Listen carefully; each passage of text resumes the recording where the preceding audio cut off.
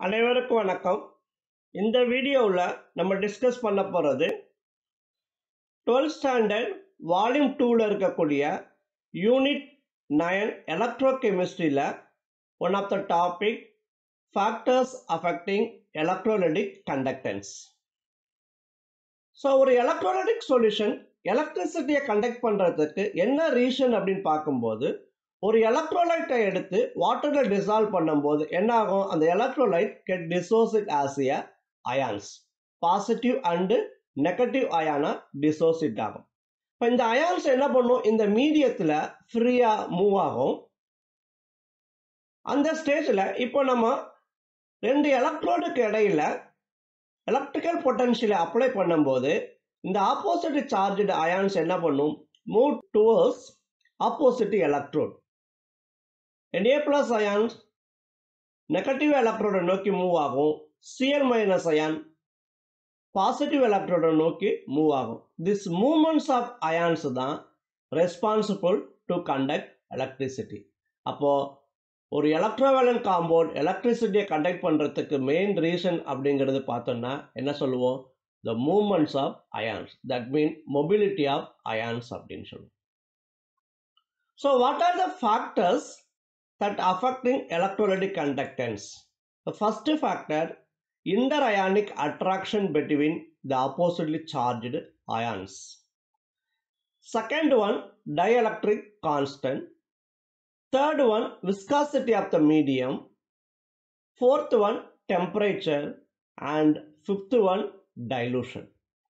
இப்போ இந்த ஃபேக்டர்ஸ் எல்லாம் எலக்ட்ரோடிக் கண்டக்டன்ஸ் என்ன ஆகும் அஃபெக்ட் பண்ணும் இப்போ ஒன் பை ஒன்னாக பார்க்கலாம் இப்போ ஃபஸ்ட்டு நம்ம பார்க்க போகிறது inter ionic attraction between the oppositely charged ions inter ionic attraction between the oppositely charged ion of the solute increase ஆச்சுன்னா இப்போ ஒரு எலக்ட்ரோலைட் வாட்டரில் டிசால்வ் ஆகிருக்கும் போது என்ன இருக்கும்? பாசிட்டிவ் அண்டு நெகட்டிவ் அயான்ஸ் இருக்கும். இந்த பாசிட்டிவ் அண்டு நெகட்டிவ் அயானுக்கு இடையில இருக்கக்கூடிய இன்டர் அயானிக் அட்ராக்ஷன்ஸ் வந்து அதிகமாக இருந்துச்சுன்னா அதனுடைய மொபிலிட்டி என்ன ஆகிடும் அப்படி கேட்டால் கம்மியாயிடும். மொபிலிட்டி கம்மியாகும் போது எலக்ட்ரிக்கல் பொட்டன்ஷியல் அப்ளை பண்ணும்போது ஆப்போசிட் எலக்ட்ரோட நோக்கி மூவ் ஆகக்கூடிய டெண்டன்சி என்ன ஆகும் குறையும் குறையும் போது ஆட்டோமேட்டிக்காக என்ன ஆகிடும் பார்த்தீங்கன்னா conductance will decreases so the inter ionic attraction between the opposite charged ions of the solutes increases the conductance will decreases.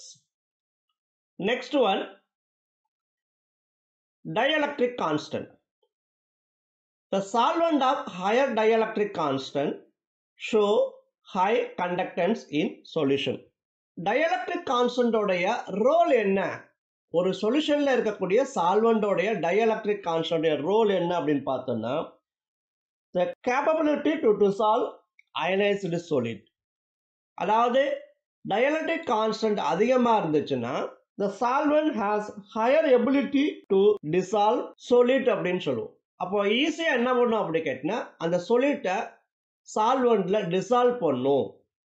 That mean ஒரு கேட்டையானுக்கும் ஆணையானுக்கும் இடையில இருக்கக்கூடிய இன்டரயானிக் அட்ராக்ஷன் என்ன ஆகிடும் குறைச்சிட்டு ஈஸியாக டிசால்வ் ஆகும். ஈஸியாக டிசால்வ் ஆச்சுன்னா மூமெண்ட்ஸ் என்ன ஆகிடும் அதிகமாகும். அப்போ மூமெண்ட்ஸ் அதிகமாக இருந்துச்சுன்னா ஆட்டோமேட்டிக்காக கண்டக்டன்ஸ் என்ன ஆகும் இன்க்ரீஸ் ஆகும் அப்படின்னு சொல்லுவோம் ஸோ டயலக்ட்ரிக் கான்ஸ்டன்ட் வந்து கிரேட்டராக இருந்துச்சுன்னா கண்டக்டன்ஸ் எப்படி இருக்கும்? ஹையராக இருக்கும் அப்படின்னு சொல்லுவோம். Next one viscosity of the medium conductance is inversely proportional to viscosity of the medium medium வந்து உடைய விஸ்காசிட்டி இன்க்ரீஸ் ஆனால் கண்டக்டன்ஸ் என்ன ஆகும் டிக்ரீஸ் ஆகும். விஸ்காசிட்டி ஆஃப் த மீடியம் வந்து டிக்ரீஸ் ஆனால் கண்டக்டன்ஸ் வந்து இன்க்ரீஸ் ஆகும்.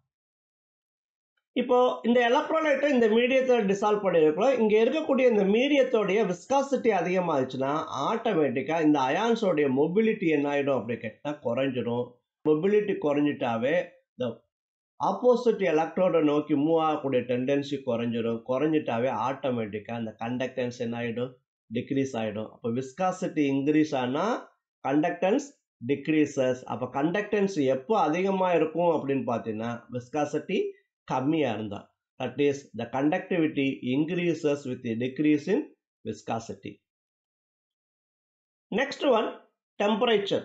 If the temperature of the electrolytic solution increases, the conductance also increases. Temperature increase ஆனா conductance increase ஆகும் இது ஏன் increase ஆகுது அப்படின்னு பார்த்தோம்னா increase in temperature increase the kinetic energy of the ions and decrease the attractive force between the opposite charged ions. இப்போ கேட்டையானுக்கு ஆணையானுக்கு இடையில இருக்கக்கூடிய அட்ராக்டிவ் ஃபோர்ஸ் என்ன ஆகிடும் குறைஞ்சிடும். அட்ராக்டிவ் ஃபோர்ஸ் குறையும் பொழுது ஆட்டோமேட்டிக்காக இதனுடைய கைனடிக் எனர்ஜி இன்க்ரீஸ் ஆகும். கைனடிக் எனர்ஜி இன்க்ரீஸ் ஆனால் that mean moments of ions வந்து இன்க்ரீஸ் ஆகும்.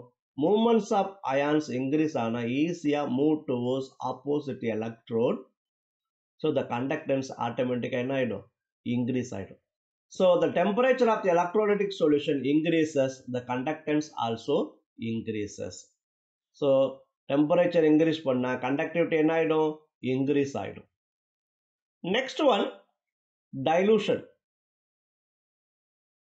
molar conductance of a solution increases with increase in dilution Dilution increase ஆக இன்க்ரீஸ் ஆக molar conductance of the solution என்ன ஆகும் இன்க்ரீஸ் ஆகும் இதில் ரெண்டு டைப் ஆஃப் சொல்யூஷன் எடுத்துக்கணும் strong electrolyte weak electrolyte for strong electrolyte interionic force of attraction decreases with dilution dilution ஆக ஆக ஒரு கேட்டையானுக்கு ஆணையானுக்கு இடையில இருக்கக்கூடிய inter ionic force of attraction என்ன ஆகிடும் டிக்ரீஸ் ஆகும். Inter ionic force of attraction decrease ஆகிட்டாவே ஆட்டோமேட்டிக்காக மொபிலிட்டி ஆஃப் அயான்ஸ் வந்து இன்க்ரீஸ் ஆகும்.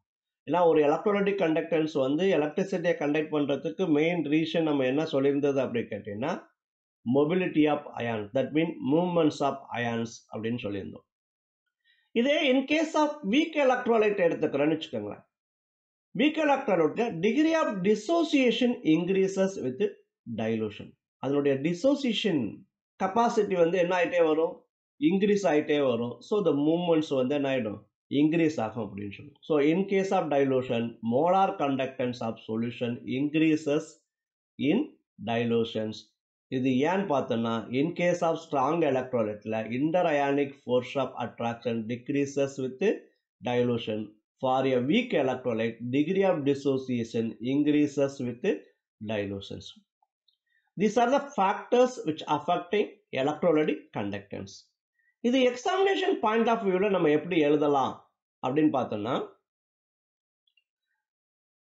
இப்போ இந்த ஃபைவ் பாயிண்ட்ஸ் இந்த மாதிரி எழுதினாவே போதும். ஃபர்ஸ்ட் பாயிண்ட் என்ன கொடுத்துறோம் நம்ம?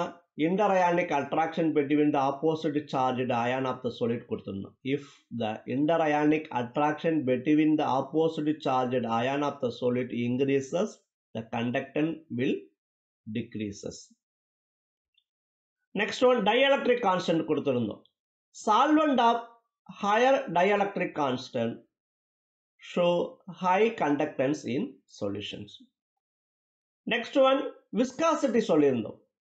Conductance is inversely proportional to viscosity of the medium that mean conductivity increases with decrease in viscosity next one temperature சொல்லியிருந்தோம். If the temperature of the electrolytic solution increases, the conductance also increases. Last one, dilution. Molar conductance of a solution increases with increase in dilutions. இப்போ இந்த ஃபார்மேட்டில் நீ examination point of வியூவில் question கேட்டால் எழுதுனா போதுமானது thank you students